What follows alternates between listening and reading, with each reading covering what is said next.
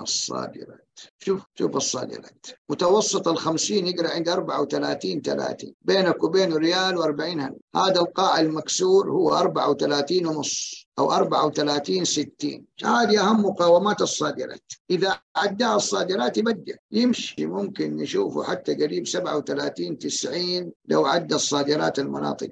ماشي حاله. هم تبادل أدوار يعني. ممكن بكرة يكون الصادرات بيلعب هذه كلها شركات مضاربة. يعني تعودنا نشوفه بعض الأحيان يصعد.